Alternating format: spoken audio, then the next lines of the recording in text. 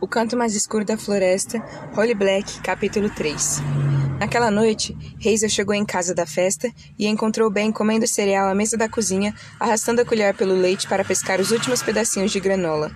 Passava um pouco da meia-noite, mas os pais ainda estavam acordados trabalhando. Dava para ver a luz acesa pelas janelas do estúdio que eles dividiam nos fundos da casa. Às vezes, quando estavam inspirados ou tinham um prazo, acabavam dormindo lá mesmo. Hazel não ligava. Tinha orgulho da maneira como eram diferentes dos outros pais. Eles a tinham criado para ser assim. Gente normal, diziam eles, dando de ombros. Acha que é feliz, mas só porque são burros demais para imaginar qualquer coisa diferente. Melhor serem felizes e interessantes, não é, garota? Depois riam. Às vezes, no entanto, quando Hazel ia até o estúdio, no ar o cheiro familiar de terebitina, dos solventes e da tinta fresca, ela se perguntava como seria ter pais normais, felizes e burros, mas em seguida se sentia culpada por pensar assim.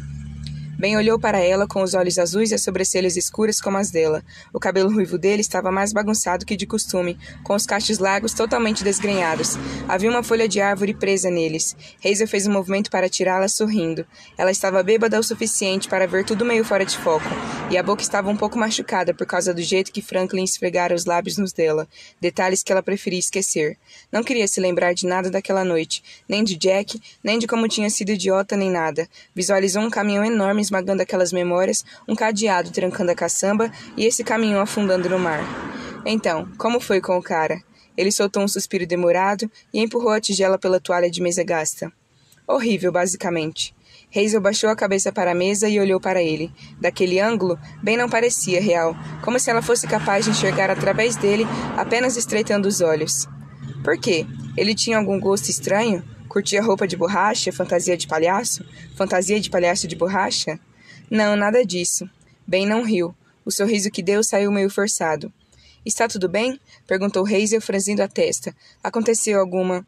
Não, nada disso. Ben falou rapidamente, afastando as preocupações dela. A gente foi para casa e o ex dele estava lá. Tipo, o ex do cara ainda mora lá.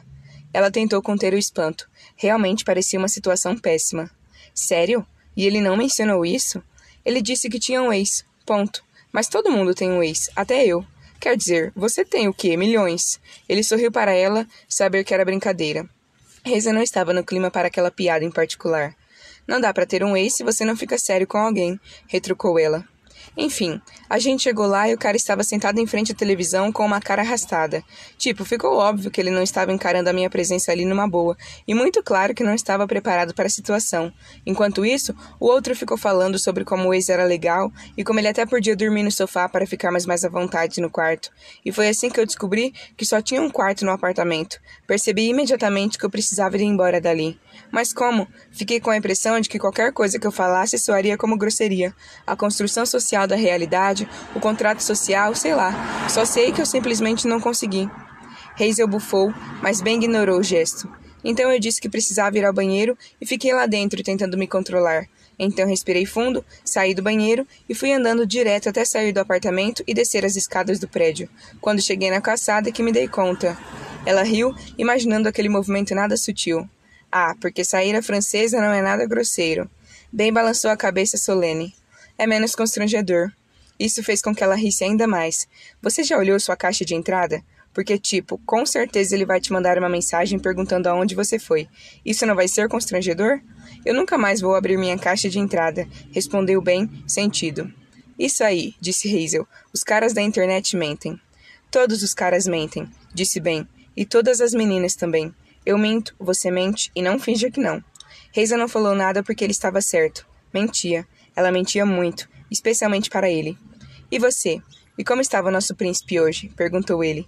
Ao longo dos anos, Hazel e Ben tinham inventado várias histórias sobre o garoto de chifres, usando as canetas hidrográficas do pai, os carvões da mãe e, na infância, os próprios lápis de cera, tinham feito os inúmeros desenhos daquele rosto bonito e dos chifres curvados. Se Hazel fechasse os olhos, podia ver a imagem dele, o gibão azul escuro com fios de ouro, fênixes, grifos e dragões bordados, as mãos pálidas sobrepostas, enfeitadas com anéis brilhantes, as unhas estranhamente longas e levemente pontudas, as botas de couro branco até a canela e um rosto tão belo, com traços tão perfeitos, que olhar para ele por muito tempo tornava qualquer outra coisa completamente sem graça. Ele devia ser um príncipe. Era o que Ben tinha decidido na primeira vez que o viram. Um príncipe, como os dos contos de fadas. Além refém de uma maldição que poderia ser quebrada pelo amor verdadeiro, e naquele tempo, Hazel tinha certeza de que seria ela quem o acordaria. Nosso príncipe estava na mesma, respondeu ela, sem querer falar muito sobre a noite, mas evitando chamar atenção. Todo mundo estava na mesma. Tudo estava na mesa. Ela sabia que Ben não tinha culpa pela frustração que sentia com a vida. Já o fizera suas escolhas e não fazia sentido se arrepender, muito menos culpar o irmão por elas. Um pouco depois, o pai veio cambaleando do estúdio para preparar um chá e mandou os dois para a cama. Estava com o prazo apertado para terminar as ilustrações que precisava entregar na cidade na segunda-feira. Provavelmente ficaria acordado a noite toda, o que significava que ele notaria se Hazel e Ben também ficassem. A mãe provavelmente ficaria acordada com ele. Os dois começaram a namorar na Escola de Belas Artes na Filadélfia, unidos pelo amor pelos livros infantis, o que levou Ben e Hazel a serem batizados, muito para a humilhação deles, com os nomes de dois coelhos famosos. Logo depois da formatura, os dois se mudaram de volta para Fairford, sem dinheiro, grávidos e dispostos a se casar, para que a família dele os deixasse viver de graça na fazenda da tia-avó. Papai transformou o celeiro em estúdio e passou a usar a metade do espaço para ilustrar livros infantis, enquanto mamãe usava a dela para pintar paisagens da floresta de Carling, que ela vendia na cidade, principalmente para turistas. Na primavera e no verão, Fairfield ficava lotada de turistas, gente comendo panquecas com calda no Hail Dinner, na Curious Curious comprando camisetas e pesos de papel de resina com trevos dentro, lendo a sorte no Mish como um tarot, tirando selfies no, ca no caixão de vidro do príncipe, comprando sanduíches da lanchonete da Anne para piqueniques improvisados perto do lago It, ou passeando de mãos dadas pelas ruas como se Fairfield fosse o lugar mais pitoresco e excêntrico que já tivessem visitado. Todos os anos, alguns desses turistas desapareciam. Alguns eram arrastados para dentro do lago It por bruxas d'água, os corpos rompendo a densa camada de algas, espalhando as lentilhas d'água. Ao crepúsculo, muitos ouros eram atropelados por gente do povo brilhante, montada em cavalos com sinos pendurados nas crinas. Outros amanheciam pendurados de cabeça para baixo nas árvores, mastigados, o sangue escorrendo, ou eram encontrados sentados em um banco do parque, com os rostos congelados em expressões tão terríveis que pareciam ter morrido de medo. Alguns simplesmente sumiam. Não muitos. Um ou dois a cada temporada, mas o suficiente para que alguém de fora de Fairford tivesse notado. O suficiente para que já tivessem colocado avisos, alertas para viajantes, alguma coisa. O bastante para que os turistas já tivessem parado de vir. Mas não. Há uma geração, o povo era mais circunspecto, mais inclinado a pegar peças, coisas como um vento repentino levando uma turista desavisada pelos ares até pousar a quilômetros de distância. Alguns turistas poderiam chegar cambaleando no hotel depois de uma noitada e descobrirem que seis meses tinham passado.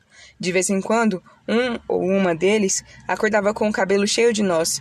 Coisas que tinham certeza de ter colocado nos bolsos desapareciam, e outras esquisitas estavam no lugar. A manteiga era comida direto do prato, lambida por línguas invisíveis. Notas de dinheiro viravam folhas, cadarços não se deixavam desamarrar e sombras pareciam meio cansadas, como se tivessem dado uma fugidinha para farrear. Naquela época, era muito raro alguém morrer por causa do povo. Turistas, dizia gente local em certo tom de escárnio.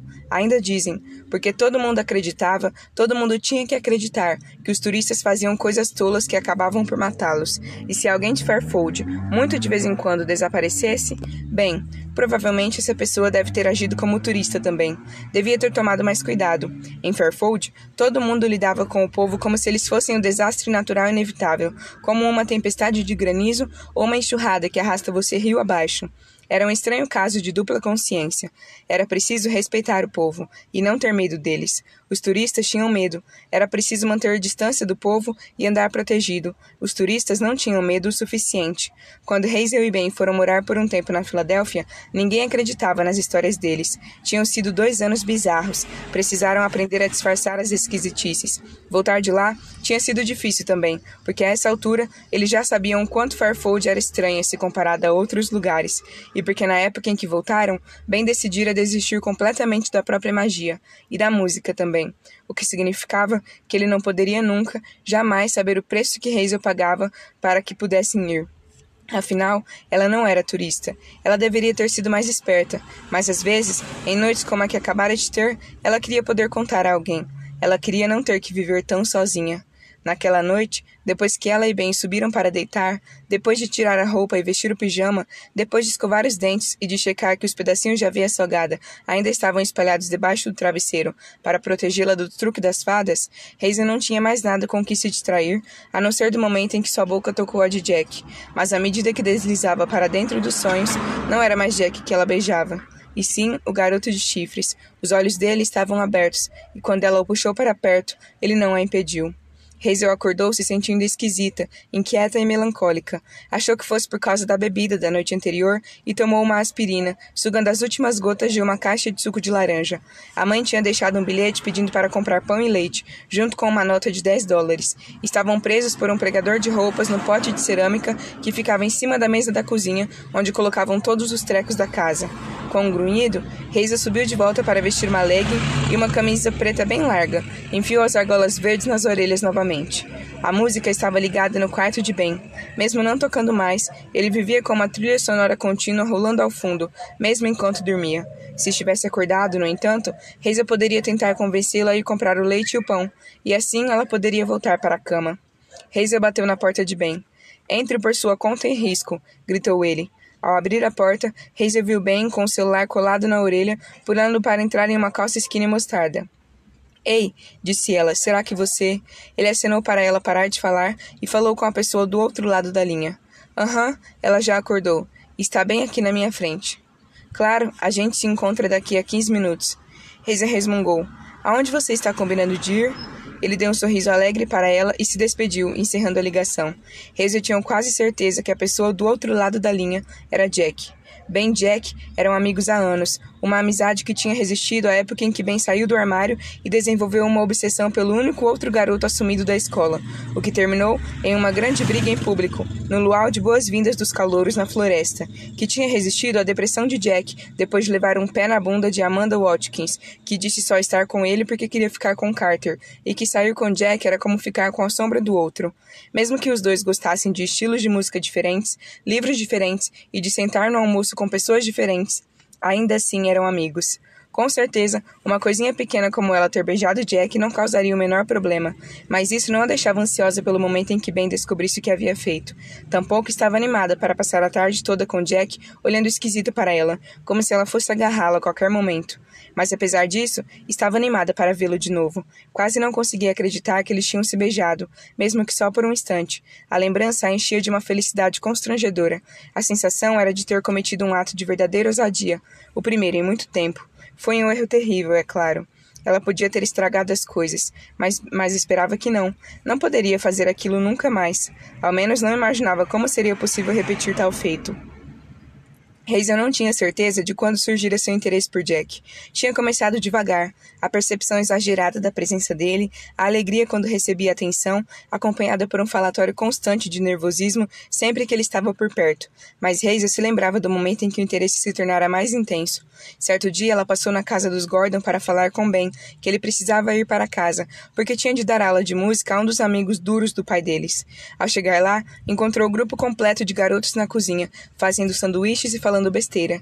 Jack preparou para ela um de salada de frango, com rodelas de tomate cuidadosamente cortadas. Quando ele deu as costas para pegar os pretzels de acompanhamento, Hazel roubou o chiclete parcialmente mastigado que ele tinha colado num prato e enfiou na boca. Tinha gosto de morango e cuspe, e ela sentiu o mesmo choque de felicidade agonizante que sentiu com o beijo. O chiclete ainda estava grudado na cabeceira da cama, um talismã do qual ela não conseguia se desfazer. A gente vai ao Lux, disse Ben, como se devesse informá-la sobre o lugar ao qual ela não havia concordado em ir. Vamos tomar um café, ouvir um som, ver se chegou alguma coisa nova. Vamos, o Sr. Choders deve estar com saudades suas. Além disso, como você mesmo gosta de dizer, o que mais há para fazer nessa cidade aos domingos? Hazel suspirou. Ela deveria dizer que não, mas em vez disso parecia estar correndo atrás de problema, fazendo todo o possível para que nenhum garoto ficasse sem ser beijado, nenhuma paquera fosse deixada de lado, nenhuma péssima ideia abandonada. Acho que um café ia cair bem, disse ela, enquanto o irmão vestia uma jaqueta vermelha, aparentemente combinando as cores da roupa com as do amanhecer. O Lux ficava num grande armazém reformado no lado mais sem graça da Main Street, ao lado do banco, do dentista e de uma loja de relógios. O lugar tinha cheiro de livros velhos, naftalina e café recém-moído. Prateleiras descombinadas cobriam as paredes e delimitavam os corredores até o meio do local. Havia estantes de carvalho trabalhado e feitas de pallet. Todas tinham sido compradas barato em vendas de garagem pelo Sr. Schodder e pela esposa dele, os velhinhos que eram dono do lugar. Duas poltronas gordas e um toca-discos ficavam ao lado das grandes janelas com vista para o riacho.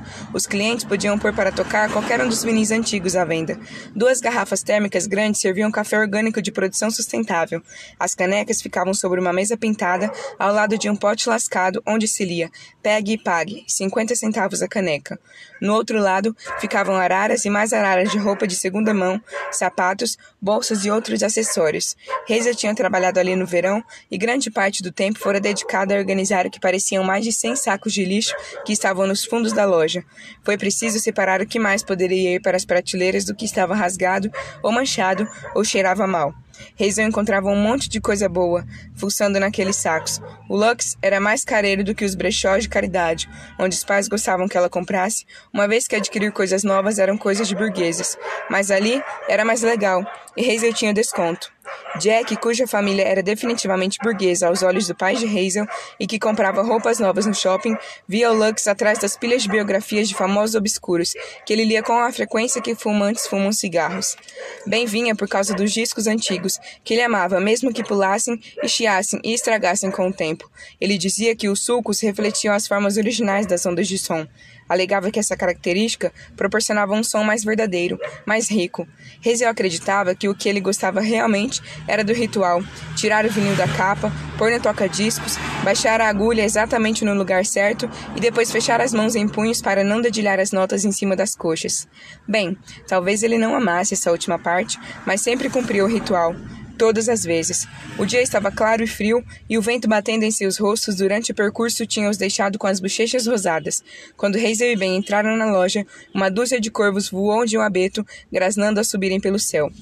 O sino na porta tocou e o Sr. Schroeder levantou os olhos, acordando de um cochilo. Ele piscou para Hazel e ela piscou de volta. Ele sorriu e escorregou de novo para o fundo da poltrona.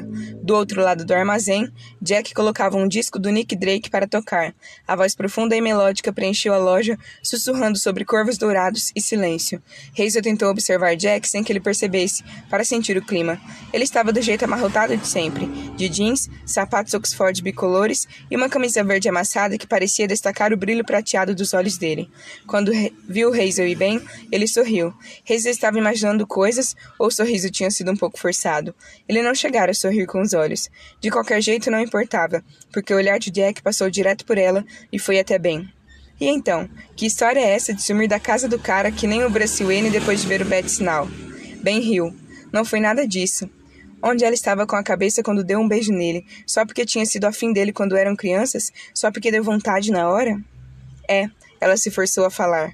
O Batman nunca, tinha, nunca teria amarelado. Ben fez questão de contar novamente a história do encontro desastroso.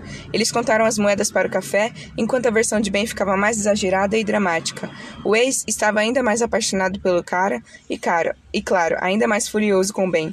Ben tinha sido ainda mais incompetente de um jeito cômico na hora de fugir.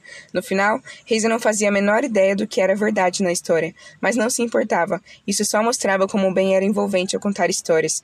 Muitas das histórias que ela mais gostava sobre o garoto de chifres tinham sido inventadas por ele. Mas e vocês? perguntou Ben finalmente. Hazel disse que ontem não aconteceu nada nem remotamente interessante. Jack parou de rir. Ah! exclamou, depois de uma pausa que durou dois segundos além do normal. Os olhos dele tinham uma luz estranha e amarelada. Ela não te contou? Hazel ficou congelada. Ben encarava os dois, curioso, as sobrancelhas franzidas. Não, o que foi? Então Mullis encheu a cara, subiu no caixão e tentou quebrar o vidro. Com certeza o coitado está amaldiçoado. O sorriso de Jack saiu um tanto sombrio. Ele passou as mãos pelos cachos castanhos do cabelo. Hazel finalmente soltou o ar, um pouco tonta. Ben balançou a cabeça. O que leva as pessoas a fazerem isso? Sempre que alguém mexe com o caixão, coisas ruins acontecem. Tommy não está nem aí para o príncipe. Então qual é a tentação? Ele parecia genuinamente frustrado. Ben e Tom Mullins já tinham sido amigos, antes de Ben se mudar e Tom virar um bêbado. Talvez estivesse cansado das mesmas festas com a mesma galera de sempre, arriscou Jack, olhando para Hazel por cima de uma mesa coberta de pilhos, livros, cintos e lenços. Talvez quisesse ver alguma coisa acontecer. Ela estremeceu. Ok, chega de esquisitice. Cortou bem, se esticando na cadeira para pegar a caneca. Seus cachos vermelhos pareciam dourados com a luz que entrava por entre as persianas sujas. O que vocês dois têm, gente? Ficam olhando um para o outro que nem uns malucos? O quê? Não? Jack falou calmamente. Não tem nada. Hazel balançou a cabeça e foi encher de novo a caneca de café. Ei, comentou ela, louca para mudar de assunto. Será que aquilo ali que estou vendo é mesmo um top de paetês? Era mesmo, e logo ao lado havia um vestido de festa enorme, cheio de saias de tule, verde água como uma cauda de sereia. Hazel saiu dançando com ele pela loja. Ao lado dele havia um terno espinha de peixe que podia ter sido usado numa das primeiras temporadas de Mad Men. Jack botou para tocar no vinil do Brad Benz. Ben experimentou o terno, alguns turistas entraram para comprar postais e tudo começou a ficar com aquela cara de uma tarde normal de domingo. Ben pôs as mãos nos bolsos da jaqueta, na qual desfilava pela loja, desafiando-os a dizer que tinham ficado um pouquinho apertada. Hazel então pegou a jaqueta vermelha dele e a pôs dobrada sobre o braço. Alguma coisa caiu de um dos bolsos, quicou uma vez no chão e rolou até os pés de Jack. Era noz com um fio fino de grama amarrado em volta, formando um laço. Olha isso, comentou Jack, franzindo a testa ao observar a descoberta dela. O que você acha que é? Isso estava no meu casaco? perguntou Ben. Hazel assentiu. Bem, vamos abrir. Jack deslizou da mesa, um chapéu coco meio torto na cabeça. Ele tinha uma expressão corporal descontraída, relaxada, e isso fazia Hazel ter o exato tipo de pensamento que a trouxera problemas. A grama se desamarrou com facilidade e as duas metades da noz se separaram. Dentro havia um pedacinho de papel enrolado feito um pergaminho. Deixa eu ver, falou Hazel, se esticando para pegá-lo. Ao desenrolar o pergaminho, um arrepio percorreu sua espinha quando leu as palavras em caligrafia trabalhada. Sete anos para pagar o que está a dever. Tarde demais para se arrepender. Os três ficaram em silêncio por um longo momento, enquanto Reisa se concentrava para não deixar o papel cair. Isso não faz sentido, falou Jack. Provavelmente, isso é um souvenir antigo que um turista comprou na cidade. A voz de Ben estava um pouco hesitante. Nós da sorte falsa. Qualquer porcaria dessas. Havia uma loja perto do final da Main Street chamada Coney Woman, que vendia souvenirs aos caçadores de fadas, incenso, saquinhos de sal misturado com frutas silvestres para proteção, mapas dos lugares entre aspas sagrados das, pela das fadas pela cidade, cristais, cartas de tarô pintadas à mão e móveis furta-cor para janelas. Mensagens em código dentro de nozes era o tipo de coisa que eles poderiam ter. Mas que tipo de sorte é essa? perguntou Jack. É, concordou Hazel, fazendo um esforço para não demonstrar que seu coração estava aos pulos, tentando se comportar como se não soubesse para quem era aquela mensagem, fingindo que tudo estava normal. É, rindo, bem pôs a casca de nós e a mensagem de volta no bolso. Mas é meio assustadora. Depois disso, Hazel não conseguiu mais se divertir, só fingir, ela observou bem Jack, memorizando-os, memorizando as pessoas e o lugar, o cheiro dos livros antigos e o som das coisas normais. Ben comprou uma gravata borboleta de bolinhas e depois os três foram andando até a mercearia, onde Hazel comprou o leite e o pão que a mãe pedira. Jack estava indo jantar com os pais, porque aos domingos era a noite dos jogos de tabuleiro. Era uma tradição de família, e mesmo que Jack e Carter achassem aquilo uma bobagem, nenhum dos dois podia faltar. Hazel e Ben também foram para casa. Em frente à porta, Hazel se agachou para derramar um pouco pouco de leite na tigela de cerâmica que a mãe deixou junto à calçada de pedra. Todo mundo em Fairfold deixava a comida do lado de fora para as fadas, para demonstrar respeito, para ser digno de suas graças. Mas o leite saiu da caixa em pelotas. Já tinha azedado.